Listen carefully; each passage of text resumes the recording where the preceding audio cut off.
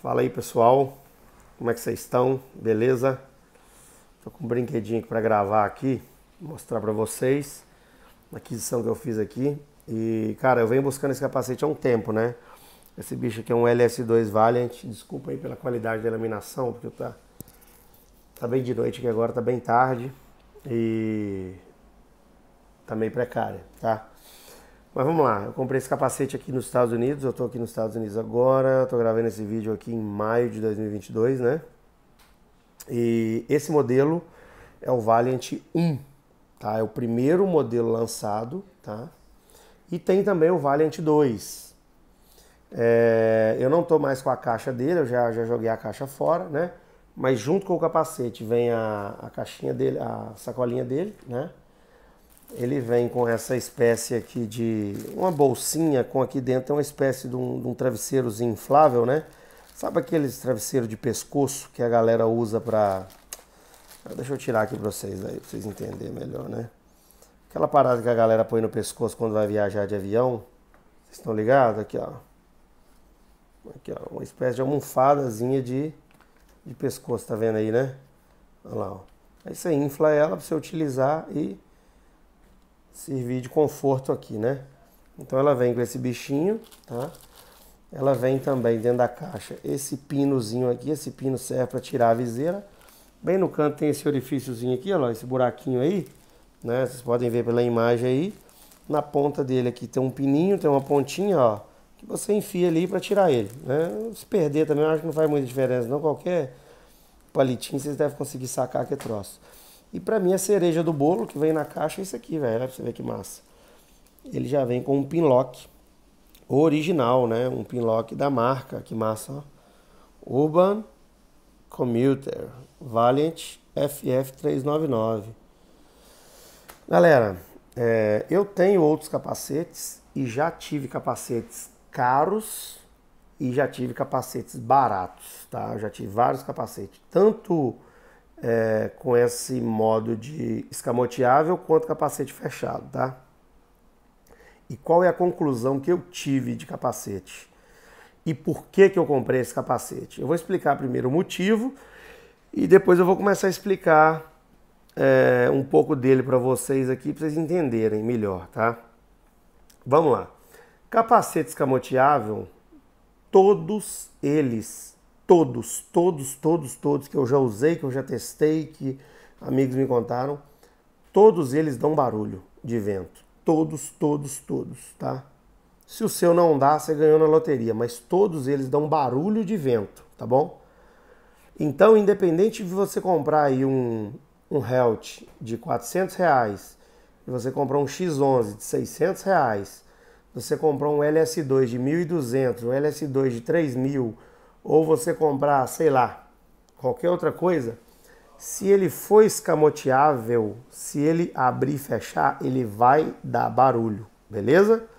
Às vezes a qualidade da forração muda, a qualidade da viseira muda, a qualidade do sistema de refrigeração muda, né? Enfim, uma série de coisas pode mudar, mas barulho, se ele for escamoteável, ele vai fazer barulho de vento. Beleza? Agora, se você investiu pesado, caro, num capacete selado que levanta só a viseira, né, num capacete que não é escamoteável, aí quando você investe num caro, a questão do barulho, a questão da, da, da aerodinâmica aqui, para os seus ouvidos muda, tá? Aí vale a pena você investir num LS2 bom, você investir num Shark, num Bell, né, numa coisa mais premium. Porque quando você compra um capacete que não é escamoteável, barato, já aconteceu de eu comprar capacete que quando eu atingia mais de 150 km por hora, a viseira dele começa a querer levantar, a viseira começa a querer abrir, né? E ficava aquele barulhão de vento pá, dentro do capacete, cara, é horrível. Então é o seguinte, o cara que é espideiro, o cara que anda em alta velocidade, um capacete de qualidade completamente fechado, que não é escamoteável, faz total diferença na questão do barulho, tá? Não estou falando de conforto de forma geral, estou falando só de barulho. Agora, se você tem um capacete escamoteável, esquece, você não vai achar um que é silencioso igual um fechado, beleza? Agora, o escamoteável, geralmente quem usa escamoteável é quem usa trail, quem usa custom, né? São caras que não atingem assim 300 km por hora. São caras que estão mais preocupados com conforto e praticidade do que com performance, tá? É, a moral é essa. Os speedeiros aí, porque os caras querem meter o louco mesmo, andar acima de 200, aí você tem que ter um capacete que corta o vento geral, tá? Agora as galera das trail aí, a galera das custom, né, que é o meu caso, a vida inteira eu tive custom e trail, não tem BO. E aí beleza, por que, que eu comprei esse capacete, mostrar? Deixa eu mostrar para vocês, ó.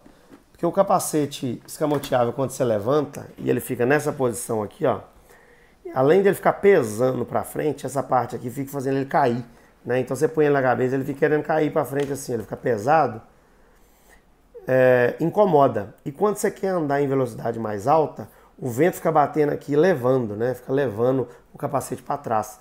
Então qual que é o massa desse capacete, velho? É isso aqui, ó. A queixeira dele vem para trás, aí, ó. Então se você quiser usar ele andando na rodovia a 100 km por hora, 120 km por hora, com ele aberto, você vai andar. Porque a aerodinâmica dele vai ser de um capacete sem essa queixeira aqui para ficar segurando o vento. Ó. E se você estiver andando em velocidade baixa, você parou num pedágio, abriu para parar, você chegou num, num, num, centro urbano, tá aquele calor, você quer abrir um tempinho ali para tomar um vento, ele não vai ficar pesando para frente, porque ele equilibra o peso, porque a queixeira vem aqui para trás, né? E da mesma forma você continua tendo a função viseira aqui, ó, funcionando de boa.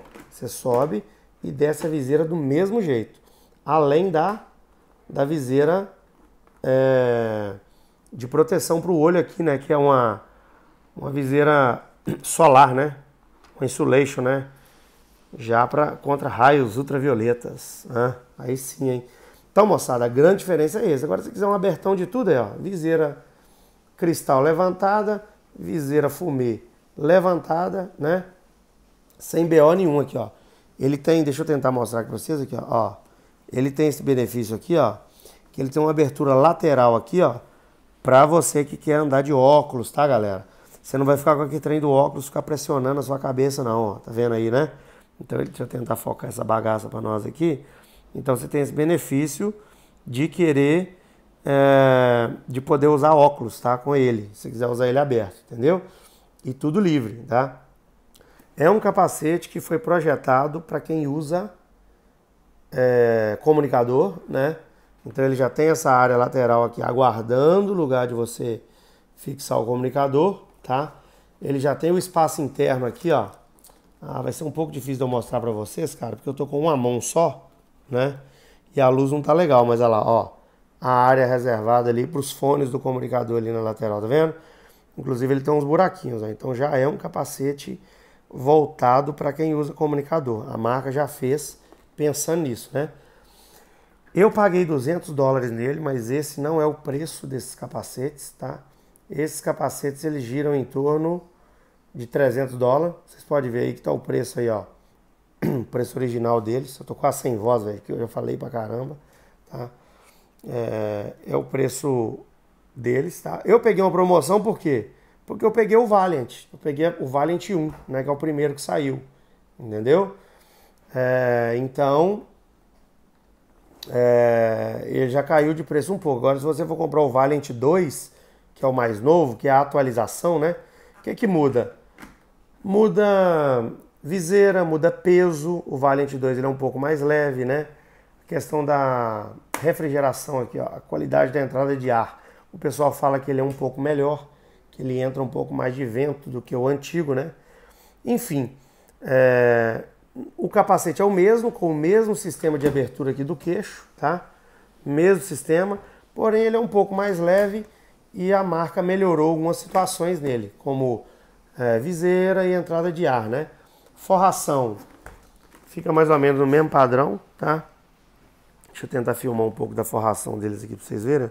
Cara, até que forração, se você compra um X11 aí, você já tem um capacete que vai te atender bem, tá?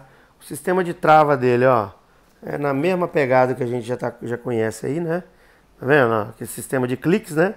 e a cordinha que você puxar e destravar, não muda muito, né? O sistema de ação da do óculos de sol interno, mesmo esquema aqui, ó, girou ele desce, né? E o sistema de ar também, mesmo esquema, a queixeira, né? A parte aqui do superior do couro cabeludo, né? Pra, pra entrar um ar ali mais ou menos no mesmo esquema. E o que muda aqui é a posição de abertura da viseira, que geralmente as aberturas da viseira acontecem de baixo para cima, né?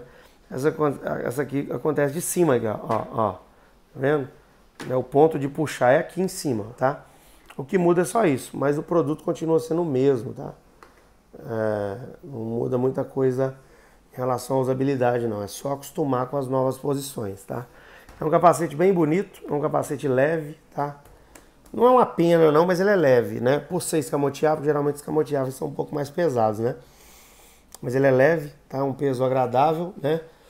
E ele vem falando aqui na viseira, ó, o que que acompanha, né, lá, ó. O Pilock, né? Read for Pilock, né? É, pronto para Pilock, né? Read for Link Ride, né? Ah, o telefone deu uma travadinha aqui, a bateria está acabando, peraí é, disponível para link, né? Você colocar já o seu comunicador, né? E extra conforto, né? É, breathable, é, tipo respirável, né? Breathable, né? Que é breath, é tipo respiração, fôlego, essas paradas, né? E hipoalergênico, né? Deve ser alguma coisa anti-alergia, eu imagino que seja, né? E ah, enfim, mais, mais ou menos essa parada, né, galera? Mais ou menos isso aí, entendeu? Então, tô super satisfeito com o capacete, tá? Um amigo meu, o Rafa, ele já tinha um bicho desse aqui e foi vendo dele, né? Que eu tomei gosto em comprar o meu, tá? Eu comprei o meu nos Estados Unidos, no Brasil ele tá na casa de R$ 2.500, eu paguei 200 dólares. Então, com o dólar 5 pau, que eu tô no mês de maio aqui nos Estados Unidos, então 5 conto, então vamos falar que ele vai sair mil conto, né?